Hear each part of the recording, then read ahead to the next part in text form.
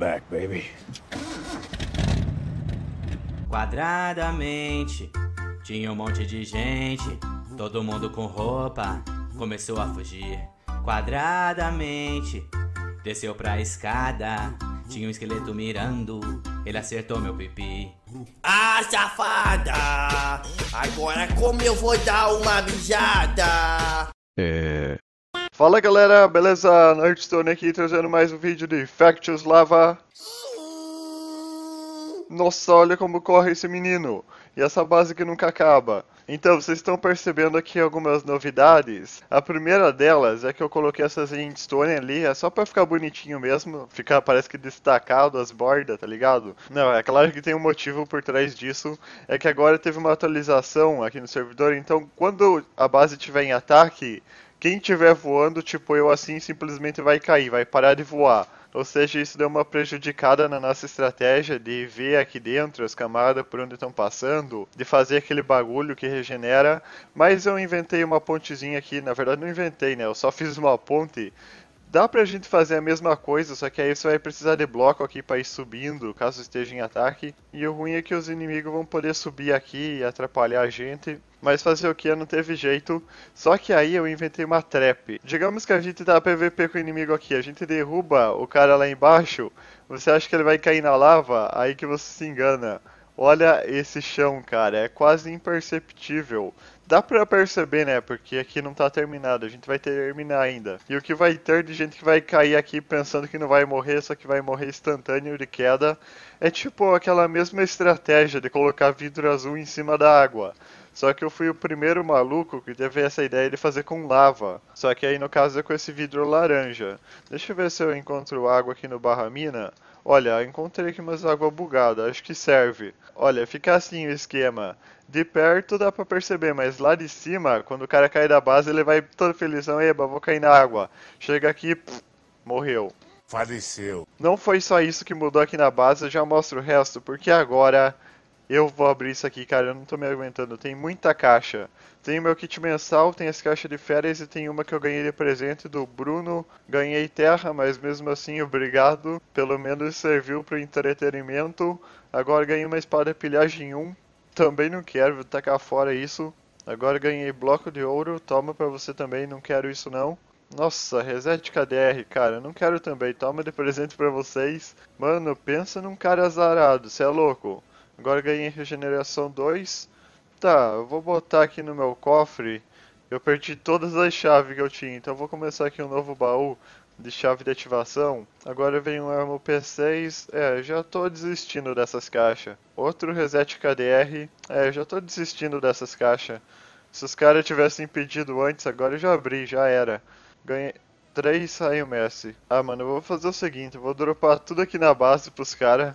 Tá, e quais são as novidades aqui da base? O spawner do Wither tá melhor ainda. Agora a gente tá com 6 spawner deles. Tá. Sério que você gastou um negocinho de raio em mim? Tá, mas olha, a gente tá com 6 Wither, os outros spawner continuam igual, só que agora tem uma nova farm de um mob que eu duvido que vocês conheçam. Pra eu ir lá, é só eu digitar aqui home top, só que ao contrário, as letras invertidas, que vocês vão ver, taran, está aqui a farm de pot, trolei. Puta merda, você é zoeiro mesmo, hein, cara?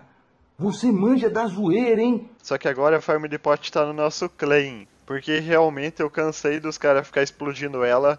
Acho que geral aí já sabe como ela funciona, é só clicar aqui e faz os potes automático. É a mesma coisa, só que agora ela tem camadas de bedrock e tá claimada pra ninguém mais zoar. Não tem muita camada, porque eu acho que ninguém vai ser burro de gastar TNT só pra lucrar aqui uns baús de pote. Não faz sentido isso. E agora uma surpresa inesperada. Tá vendo a stage aqui? A gente invadiu eles, só que foi lá na farm de baixo. A gente fez um canhão que passava as TNT aqui por dentro da lava. E inclusive tem gente ali, tem que tomar cuidado. Ou eu posso tentar matar esse maluco. Só que eu tô sem pote e ele já me viu de shift aqui. E aí, carinha, falou. Mas eu gravei tudo e tô deixando passar aí pra vocês, então aproveitem.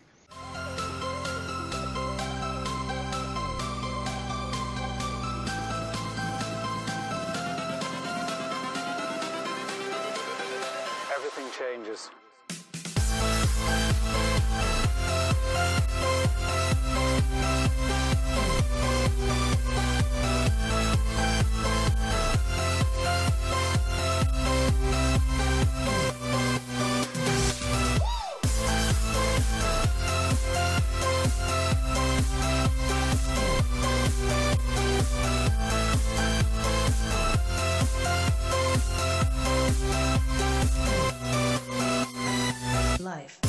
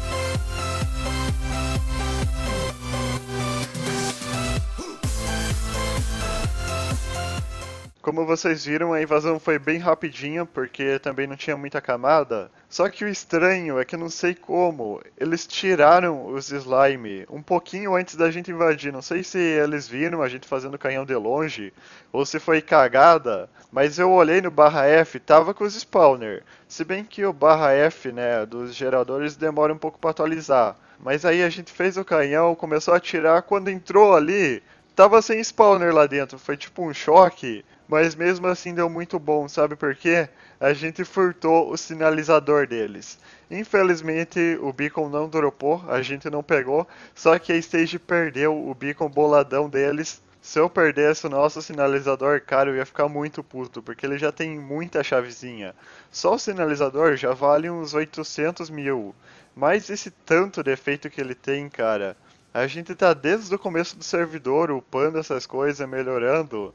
Nossa, a stage deve ter ficado muito puto com a gente, mano, na moral. E se você pensa que o PVP acaba por aí, não acaba não. Teve um evento, base perdida, só que na verdade era baú perdido, né? Porque não tinha que invadir. Era só achar e você pegava todos os itens que tinha lá. Aí a Steph foi dando dica no global e a gente tinha que ficar andando, procurando. Eu tava chegando perto quando um carinha achou, mas depois a gente foi lá e teve um monte de PVP. Cara, tava matando todo mundo. Morri uma vez, né? Porque, sei lá, bugou ali, ficou tudo travado, morri do nada, com efeito de cap. Mas não tem problema, mesmo assim eu saí no lucro. E o cara aqui acabou de me chamar pra X1.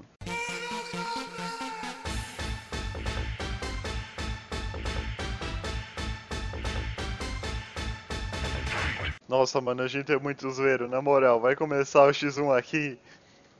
Ó o Biel tomando couro. Ó o Biel tomando couro. Nossa, literalmente. Não, não vou matar ele. A galera nem veio assistir, o cara já vai morrer. Imagina.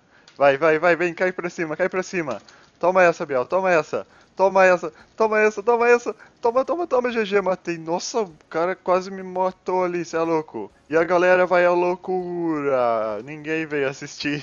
Que bosta de X1, mano. Eu tô empolgado porque é a primeira vez que eu venho num X1 aqui só pra testar mesmo. E ainda bem que a gente não veio com P4 porque não dropou os itens do Biel.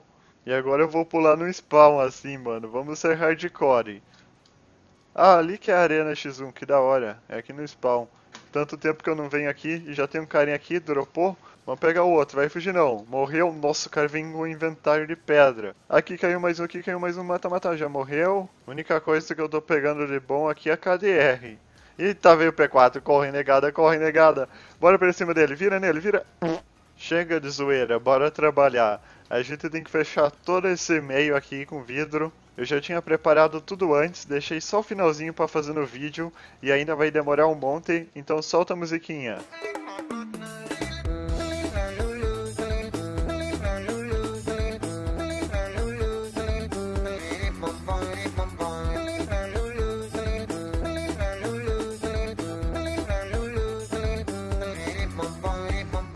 Aí, finalmente acabou. Agora sim, olha que bonito que ficou isso. Nossa, cara, que perfeição. Olha esse cenário aqui também da nossa base, cara. Tem cachoeira de lava. Eita, já saí do claim. A parte triste é que esse local ali sem claim, a galera vai grifar, vai explodir, vai zoar tudo mas está bem bonitinho o local da nossa base. A base também ficou mais destacada com essas endstone, eu achei que ficou legal. Mas é isso aí que eu tinha reservado pro vídeo de hoje. Espero que vocês tenham curtido e muito obrigado por assistir o vídeo até o final. Valeu, falou nós. Tchau!